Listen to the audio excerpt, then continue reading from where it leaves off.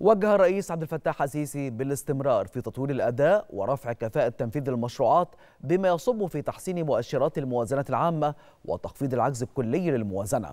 وخلال اجتماع لمتابعة مؤشرات الأداء المالي للموازنة العامة وجه الرئيس السيسي بتكثيف العمل في مختلف المشروعات التنموية والخدمية ذات العائد المباشر على المواطنين وكذلك مواصلة دعم برامج الحماية الاجتماعية. اجتمع السيد الرئيس عبد الفتاح السيسي مع الدكتور مصطفى مدبولي رئيس مجلس الوزراء والدكتور محمد معيط وزير المالية. صرح المتحدث الرسمي باسم رئاسة الجمهورية المستشار أحمد فهمي أن الاجتماع تناول متابعة مؤشرات الأداء المالي للموازنة العامة حيث استعرض السيد وزير المالية الجهود الجارية لتحقيق مستهدفات الموازنة خاصة الاستمرار في الحفاظ على الاستقرار المالي في ظل الأزمة العالمية الحالية.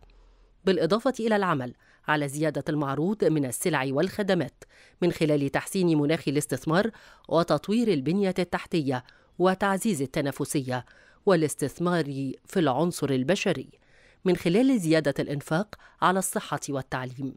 إلى جانب تحسين الإنتاجية بهدف تحقيق معدلات نمو أعلى مع مواصلة الجهود المكثفة الرامية للحد من التضخم.